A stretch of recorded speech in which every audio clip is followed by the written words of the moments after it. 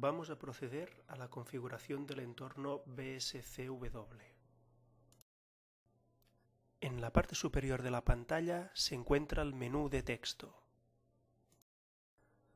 A continuación se encuentra un menú de iconos, seguido de una barra superior de acciones. Finalmente se encuentra también un desplegable lateral de acciones. La unidad de trabajo habitual es la propia línea, en el que se verá que existen un conjunto de acciones que pueden desarrollarse, así como información de los documentos. Resumiendo, se puede acceder a dos menús superior, uno en forma de texto y otra en forma de iconos, y luego hay acciones individuales que pueden realizarse desde la barra horizontal o desde el desplegable lateral. La información global de cada documento puede verse en cada una de las líneas. No obstante, antes de poder sacar provecho del entorno, es preciso hacer algunos cambios en la configuración.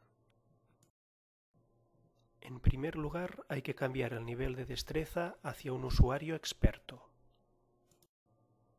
A continuación, hay que cambiar algunas de las preferencias por defecto. Se recomienda no modificar las dos tick boxes que se encuentran en la parte superior de la pantalla. A continuación, se procede a configurar los datos del usuario. La única prevención a tener en cuenta es que toda la información que se sitúe en estas pantallas estará disponible para el resto de compañeros del curso. Añadiendo una fotografía, queda mucho más fácil la posibilidad de identificar a cada uno de los usuarios. Una vez realizados estos pasos, ya es posible tener la configuración completa para el usuario.